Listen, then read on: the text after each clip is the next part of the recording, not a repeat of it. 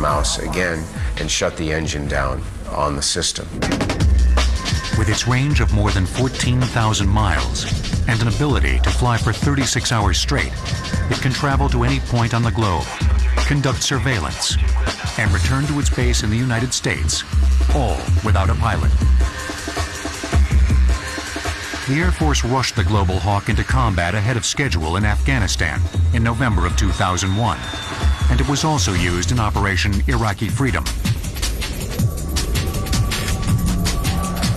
Although it flew only 5% of the surveillance missions over Iraq, it accounted for more than 55% of the information on time-sensitive targets, many of which were destroyed. After collecting more than 3,700 images over Iraq, the Hawk returned home in May of 2003.